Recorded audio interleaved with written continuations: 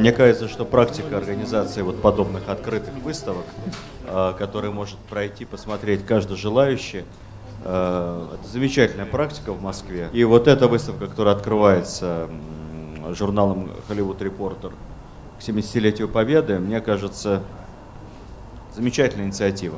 Мы, молодое поколение, представляет войну главным образом, конечно, по образам, по книгам, по спектаклям и, конечно, в первую очередь по кинофильмам. А Великая война породила у нас великое кино.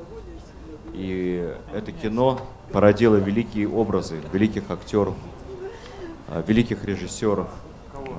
И сегодня именно по ним мы сверяем свои представления о том, как это было.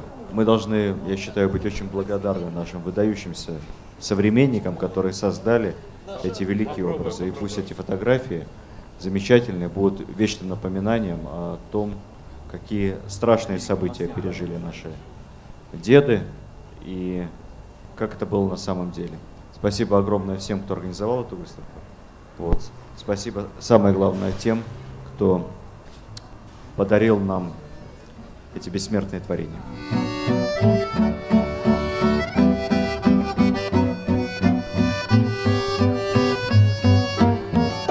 Я не очень могу говорить как бы о, о своих картинах, я не очень э, объективно, да, я немножко субъективно.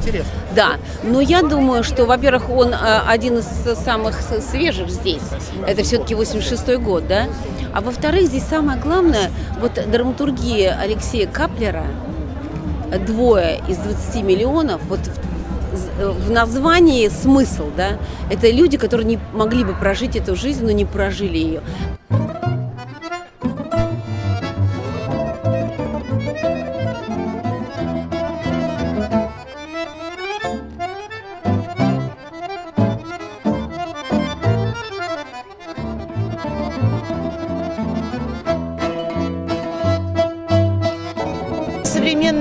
Фильмы, они о войне.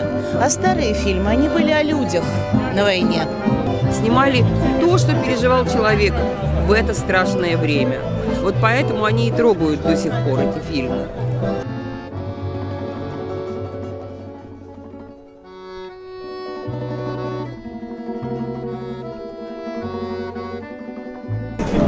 Это вещь абсолютно беспрецедентная. Только поколение, только люди, которые прошли через это, были способны создать подобный образ. Э, это такое же уникальное явление мировой культуры, как фронтовая лейтенантская проза, как, ну, в общем, нет слов.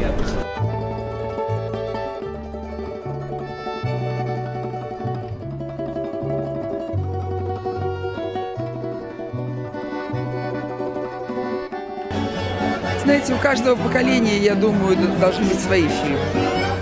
Для нашего поколения э, вот те фильмы, которые тут висят, плакаты, которые, они очень дорогие для нас. Это дань времени. Те фильмы, которые снимались, они великие фильмы, но они выразители того поколения. Сегодняшние фильмы другие.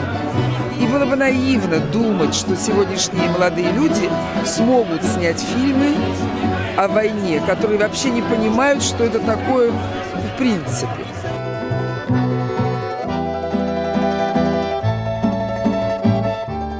С праздником, с замечательным праздником 70-летия нашей Победы. Это замечательный, грандиозный праздник. И дай Бог, чтобы всегда, во все времена люди помнили об этом празднике, потому что он святой праздник. С праздником!